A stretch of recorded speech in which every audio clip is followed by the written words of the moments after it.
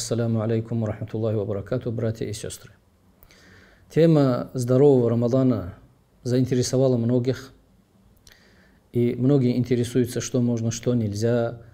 Э, и вообще месяц Рамадан – это всеобщий марафон, который объявляется Всевышним Аллахом для всех, для, в первую очередь для всех тех, кто э, для всех грешных рабов Всевышнего Аллаха, ибо в месяц Рамадан Всевышний Аллах вводит особые запреты, запрет на питание, на питье, то есть все то, что было дозволено, Всевышний Аллах в этот период нам запрещает, ибо именно таким образом можно облагородить свой нрав, стать более богобоязненными.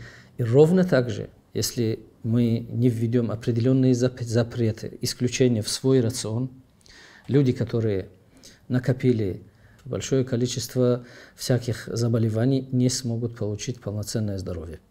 Месяц Рамадан – это всеобщий марафон – который нам гарантирует и богобоязненность, и в то же время здоровье, если мы построим правильный ифтар и сухур.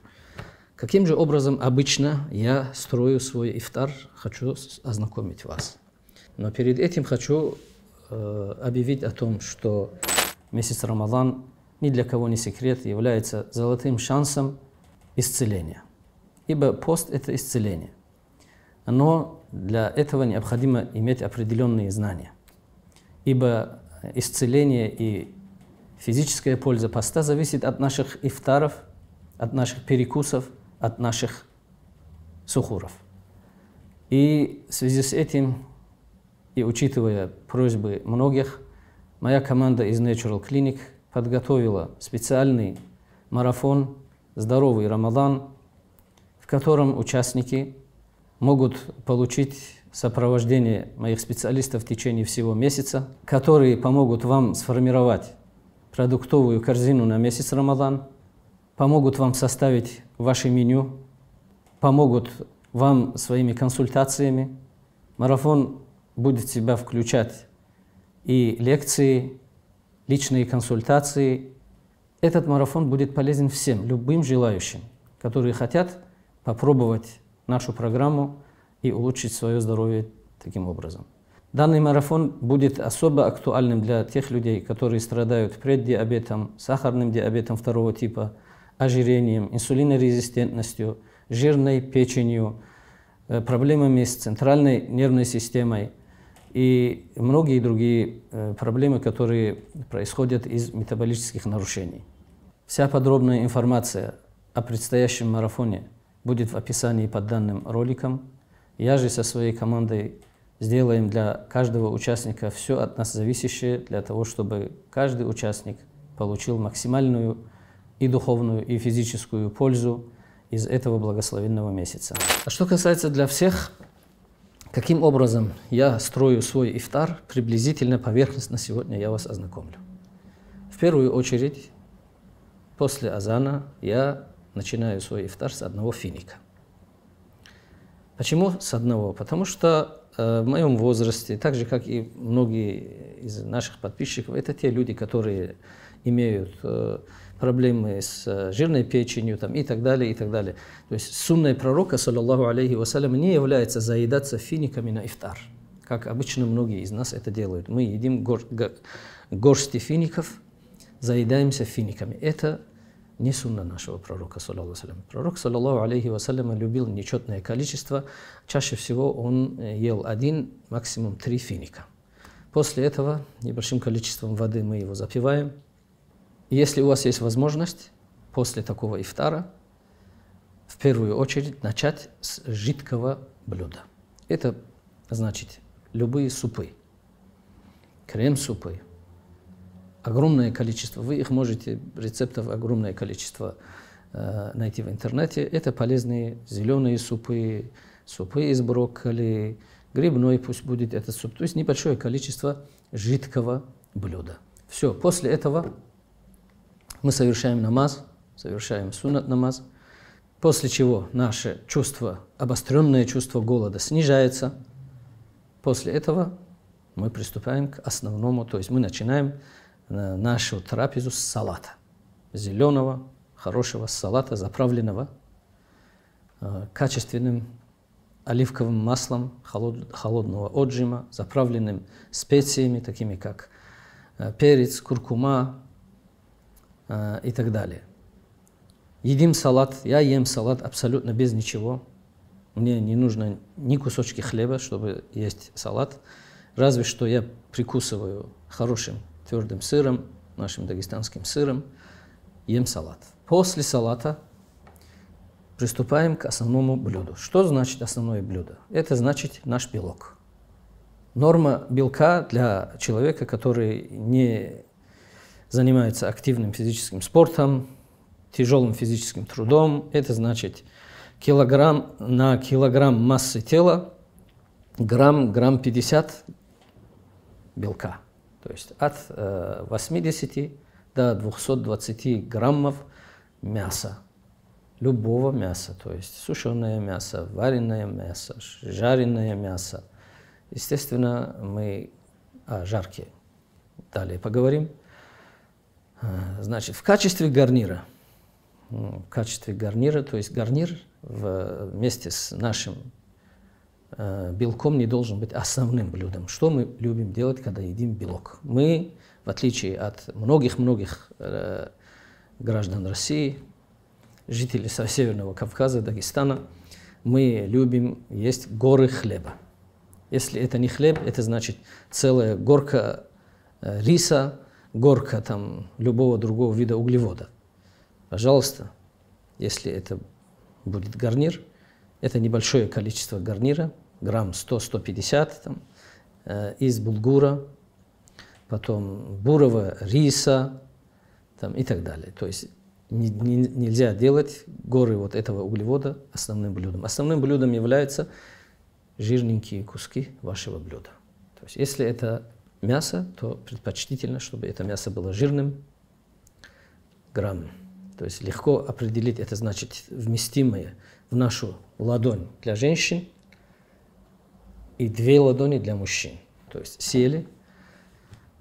Дальше можно чередовать белок э, рыбный, то есть жирные сорта блюда приветствуются. Потом любое, любая птица, то есть любые виды мяса, если они жирные, они достаточны для того, чтобы поддержать ваш организм в достаточном тонусе, в достаточной бодрости, в продуктивности в течение всего вашего последующего дня.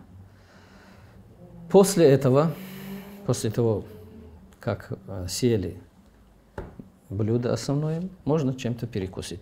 В качестве перекусов, конечно, ни в коем случае не годятся никакие э, печености, которые содержат огромное количество сахара. Это значит э, к чаю. Мы переходим постепенно к чаю. Мы любим обычно запивать этот чай, заедать этот чай там, тортиками, там, круассанами, там, печеньями там, и так далее в течение всего месяца Рамадан я всем советую отказаться от вышеупомянутого. То есть перекусываем любыми орешками, семечками, желательно тыквенными семенами. То есть это горсть, две горсти этих э, семян. После этого я обычно все это запиваю раствором яблочного уксуса. Хорошего яблочного уксуса – Э, органического. Желательно, чтобы э, уксус, уксус имел осадок, имел уксусный гриб. Э, это значит домашнего изготовления, это значит местного изготовления. Их огромное количество. Вы можете найти качественный яблочный уксус. Как его пить? Мы, завариваем, мы э, разбавляем столовую ложку на стакан воды, пьем яблочный уксус э, или до Э, приема пищи, или во время приема, приема пищи, или же после приема пищи, нет разницы. Главное пить яблочный уксус регулярно, вместе с каждым приемом пищи. То есть два-три раза можно пить такой раствор, и очень важно его выпить и полезно перед сном. Это снимает тягу к пище, регулирует наш аппетит, э, помогает усвоению нашей пищи, и вот таким вот образом проходит весь наш ифтар. так как вы исключаете из рациона газированные сладкие напитки, исключаете сахар, исключаете кондитерские мучные изделия, вы избавляетесь от неконтролируемого чувства голода. И ваш пост проходит гораздо легче. Съели вы после ваших блюд, после вашего ифтара, да, хорошенечко с чаем, поели тортики, поели сладости, поели, наелись сахаром, голод вам гарантирован. Почему? Потому что это вызывает всплеск инсулина, потом падение сахара. Это значит такие так называемые инсулиновые качели, которые провоцируют падение, то есть э, чувство, э, усиление чувства голода. Это вам не поможет. То есть также вы можете к чаю, что же можно использовать к чаю? К чаю можно найти у нас э, после приема в пищу вы можете э, заказать, найти урбичи, которые не содержат сахар. То есть тоже в умеренном количестве. И также, если вы сможете найти э, сладости низкоуглеводные, которые не содержат сахар, которые содержат э, невредные, безвредные Э, э, сахарозаменители тоже, пожалуйста, в ограниченном количестве их можно употреблять.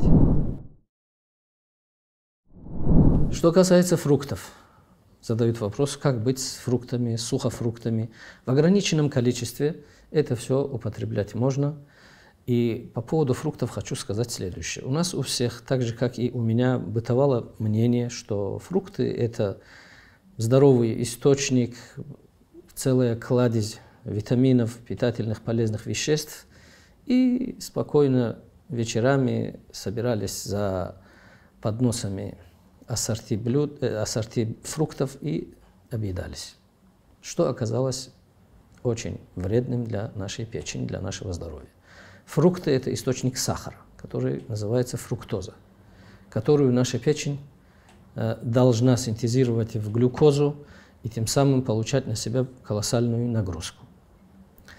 Э, что касается на месяц Рамадан, я также сторонник ограничения употребления фруктов.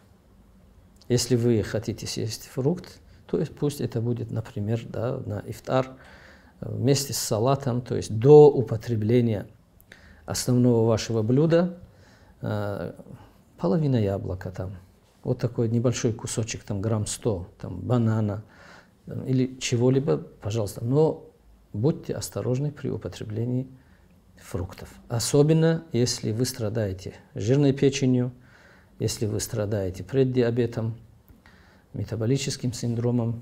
То есть этим людям крайне желательно ограничивать употребление фруктов, так как фрукты э, на Рамадан приходятся на ночное время, поэтому лучше всего, лучше всего на весь месяц Рамадан исключить из рациона фрукты, за исключением таких фруктов, как авокадо, лимоны, э, остальные лучше исключить. Правильно построенный ифтар, э, правильно построенный порядок нашего ифтара поможет нам бодро чувствовать себя на таравихах и в других поклонениях Всевышнему Аллаху. Что бы я мог к этому, к этому еще добавить? С чего я должен был бы и начать? Вопрос физической активности в месяц Рамадан. Многие, к сожалению, встречают э, месяц Рамадан и проводят его за, э, то есть неактивно. Думают, там, мы не едим, мы испытываем голод, лежим на диване, то есть гиподинамия, то есть это очень нежелательно для нашего организма. Лучшее время э, физической нагрузки месяц Рамадан – это за 40 полчаса до ифтара. Постарайтесь до ифтара найти время для простой прогулки на свежем воздухе. Этого будет вполне достаточно. И устроить таким вот образом ифтар. Ваши комментарии, ваши вопросы для нас это ценная информация.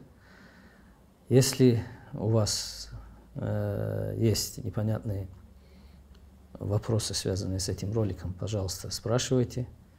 А следующий наш ролик будет посвящен отдельно теме сухора. Ассаламу алейкум ва рахматуллахи.